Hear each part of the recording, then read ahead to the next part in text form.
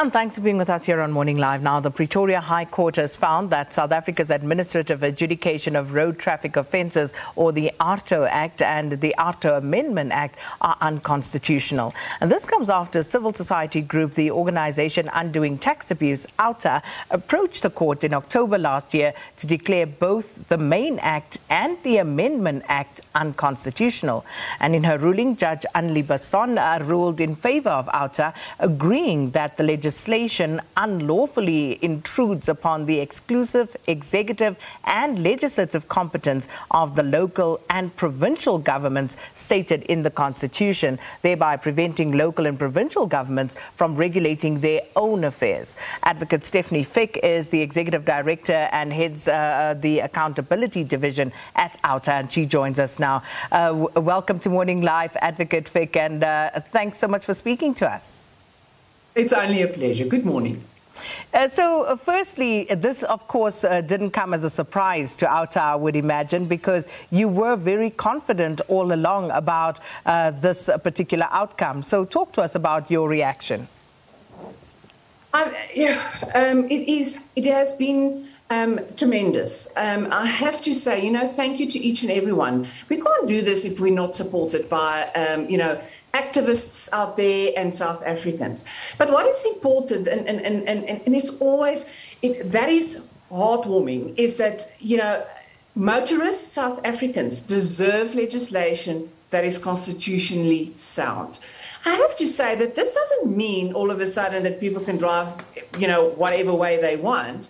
Um, this does not promote lawlessness. The crimes are still there. You still can't drive recklessly and negligently. You still can't park wherever you want.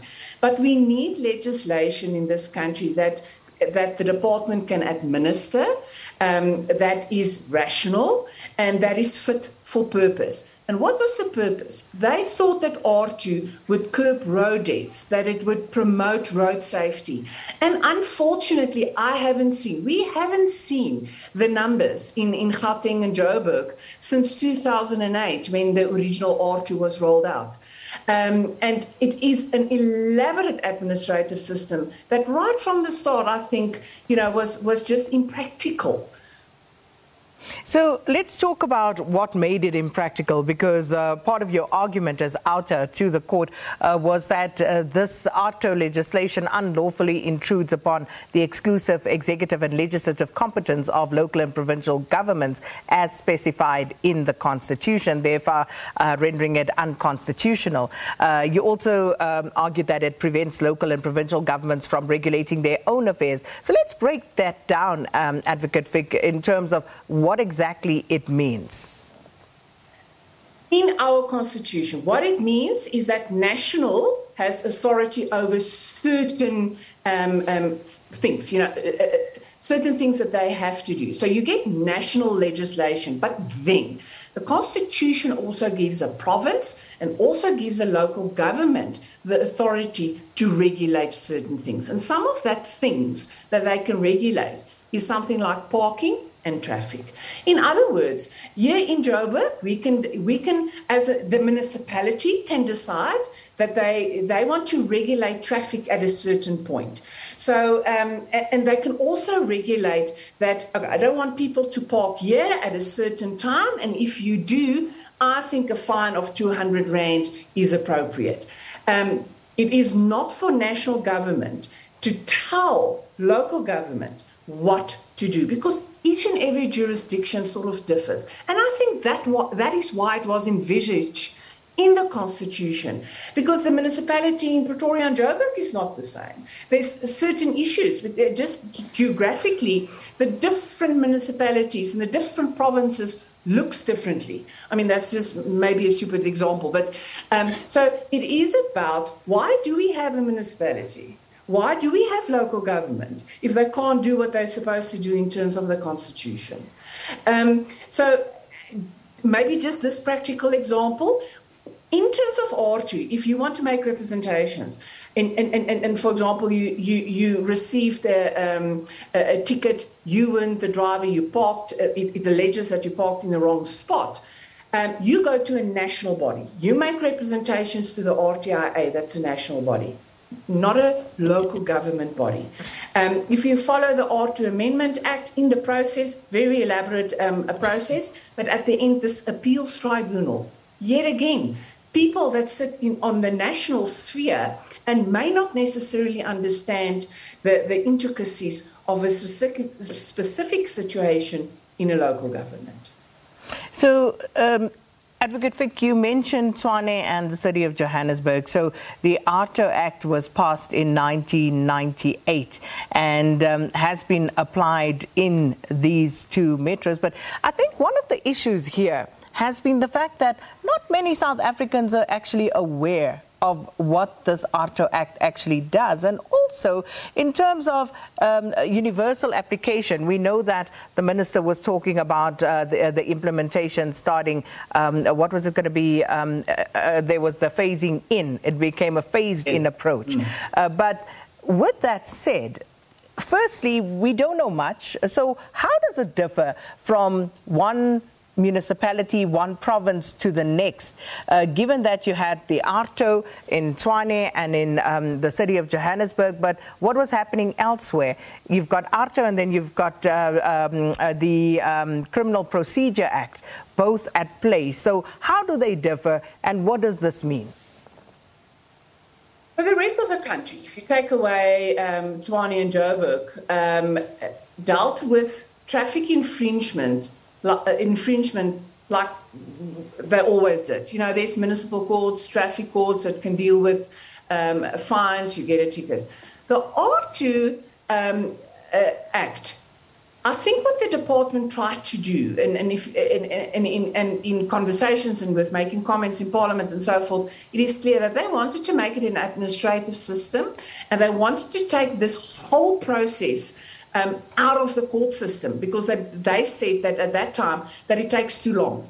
Now, uh, uh in my mind, uh, uh, uh, why not then give resources and making sure that that part of the system is resourced? But um, that is just my personal opinion. So they wanted an absolute administrative system, um, and, and, and, and I think coupled with that, with this was this demerit point system that was part of the, the, the act was but never enacted because I think that they they realized that it is um, that it it will not work. The main difference is this elaborate process. You start off, and, and, and, and it is worrying that not a lot of people understand the process, understand their rights, which the department was supposed to educate people in, their, in, in this rollout phase. Um, so it is really, there's infringement notices, there's um, courtesy letters, there's enforcement orders, there's revocation of, of, of fines. You can go, um, in, in terms of the new act, you can go to an appeal tribunal. I think people's minds just start spinning. And for what? This is all for minor offences, not for your drunk driver will still be arrested, whether AARTO is applicable or not, because it's a serious offence. You want that guy to go to jail.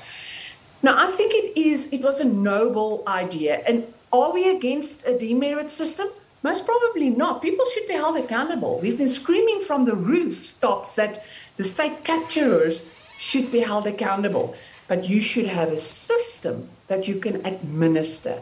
And I think the proof was in the pudding. In Joburg and Tshwane, they ran out of money and couldn't serve um, infringement notices on motorists. So um, the effectiveness of, of, of the act was proven in the beginning to not be as effective.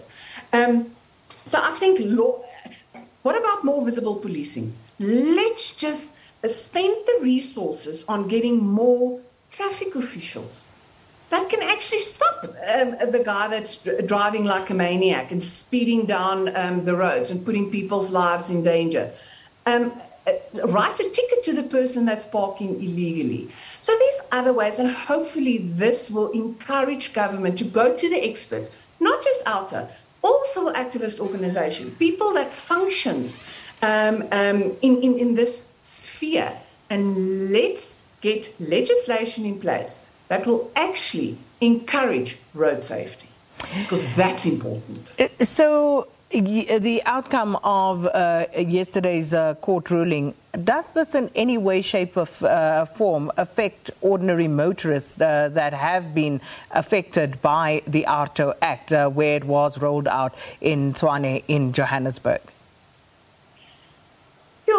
I, I don't really think so. I think um, um, what you have to keep in mind is that since last year there hasn't been any camera fines because um, you know the municipalities did not um, uh, renew their contracts with contractors because you know they, we contract these things instead of um, um, creating jobs and, and, and giving this to to to, to um, uh, officials you know, it's contracted out. Um, there's also this whole thing about if you if if if if if, you, if the RTI does not give you a fine um, soon after the infringement, then the whole pro- process falls flat. Um, so uh, I can't see how this will impact on, on, on, on motorists. We're just going back to the situation that was there uh, pre 2008, which means you'll still get a ticket. But you don't have to consider this whole um, administrative nightmare process. Um, plus, if you if you are guilty and you elect to try, you know you want to go to court and you want to fight it, you run the risk of, of getting sentenced. So um, it's not as if we did not have processes in place before AARTO. Um, what the department will do is another question, and, and, and, and, and, and this is maybe where we should start opening the conversation as to how can we also assist them in this transition period, because I don't think that they realize um, what they should do. The RTIA, for example, was brought to light in terms of this act, what's going to happen there. Um, and, and, and, but in terms of accountability and making sure that our roads are safe, the impact, we just need to enforce our laws. Mm. Advocate Fick, as you say, it remains to be seen what the department will do, and hopefully we'll get uh, them on to give us uh, their views and, of course, the way forward in terms of uh, the legal avenues that are still open to them. Uh, but uh, OUTA previously said that um, if the court, even if the court uh, would have found this law to be consistent with the Constitution, that OUTA would still further oppose Section 17 of the Amendment Act. So let's talk about the Amendment Act, what that would have done. And uh, this was, of course, also found to be unconstitutional yesterday. Yes. Now, the Amendment Act, not, not that that is necessarily unconstitutional, the Amendment Act took away your right to go to court completely. You could only now, for the first time, go to a match court on a review or an appeal if you are unhappy with the appeals tribunal. Again, administrative process. I don't want to conflict. It really is an elaborate um, um, administrative process. But one of the things that also changed is how you get to know about your notices. So let, let's break this down.